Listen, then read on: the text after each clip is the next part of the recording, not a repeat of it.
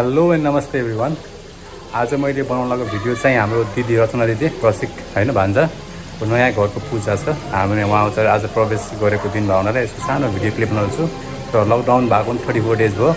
So आज मैले यही घर सम्बन्धी पूजा भएको र नयाँ उहाँको घरको बारे सानो डिस्क्राइब गर्दैछु। Check out this video